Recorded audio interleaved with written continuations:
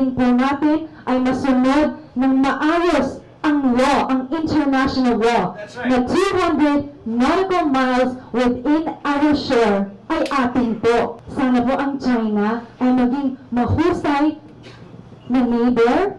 They will be good neighbors to us. Celebrities joined the fight to protect the country's territory. J.R., Billy Crawford, Q York, 25 artists are working on a song to support the West Philippine Sea Coalition, a new group organizing simultaneous protest rallies worldwide on July 24. Philippine Sea Coalition will hold a protest rally on July 24 before the Chinese consulate at the World Center building on Buendia Avenue, which is now known as Gil Puyat Avenue, in Makati from 12 noon to 2 p.m.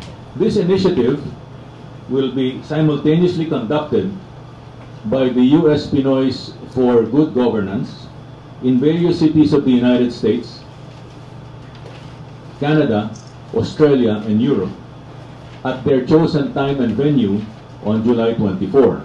The coalition is organized as the International Tribunal for the Law of the Sea begins to hear the Philippines' case against China over the West Philippine Sea. At uh, this protest rally is only going to be the start of something that uh, we intend to become bigger, not only the Philippines, but worldwide, in order to tell the world about what is happening in our backyard, the bullying that is uh, being done by uh, our big neighbor, China. The coalition aims to make the campaign viral in the streets and in social media. It's an unconventional defense strategy from the world's social media capital. Carmela Fonbuena, Rappler, Manila.